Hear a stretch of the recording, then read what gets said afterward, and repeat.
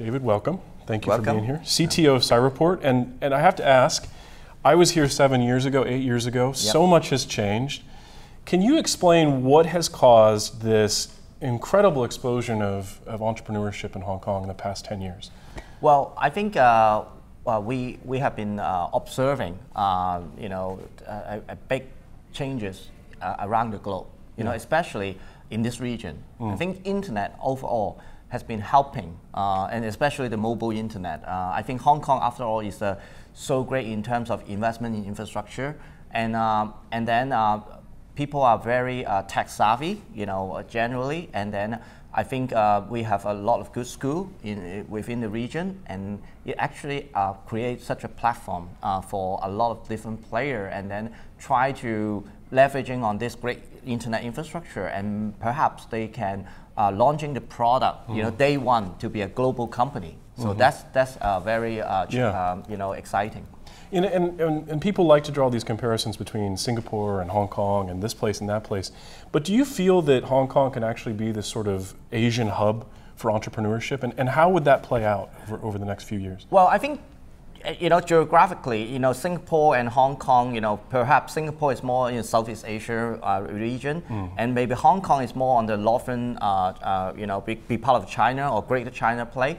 Mm. in terms of population, I'm sure, you know, uh, China, China and India, you know, is you add it up, you know, is a very, very uh, promising market. Yeah. so, so I think Hong Kong has this advantage by, you know, very closer to the North Asia market and uh, mm. leveraging on, again, the internet infrastructure in this region and can, can tap into the very close, uh, you know, the market as, as well as, uh, you know, the global scene, you yeah. know, uh, United States or even Europe, you know, yeah. from, from day one for startups. But let's talk, let's talk about transformation for a minute. The, what pieces of Hong Kong are evolving to make the city more receptive to entrepreneurship? Because to, to, roll back, you can always say that Hong Kong has been an entrepreneurial city, right? Sure. I sure, mean, look sure. at the real estate, look at the logistics, manufacturing, sure, whatnot.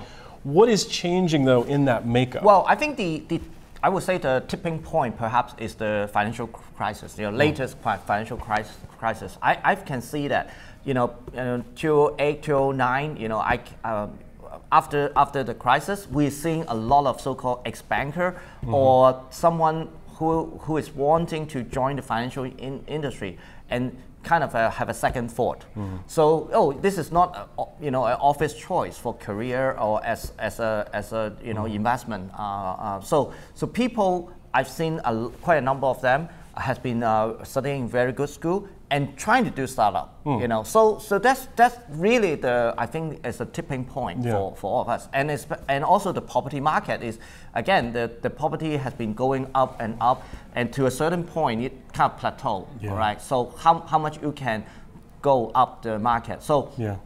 people have a second thought. So I can see that's why uh, people kind of going back to think that oh maybe I should try my own stuff. yeah, do a little ingenuity, right? Yes. A little bit of innovation, right? Yeah, because the opportunity cost, after all, is with, with the new latest technology is not that high, you know, yeah. in terms of uh, startup investment. Mm. So I think a lot of people are going to look at this and they're going to say, okay, I can come to Hong Kong. It's a good entry to northern China, mm-hmm. or northern northern Asia, and I'm thinking of China automatically.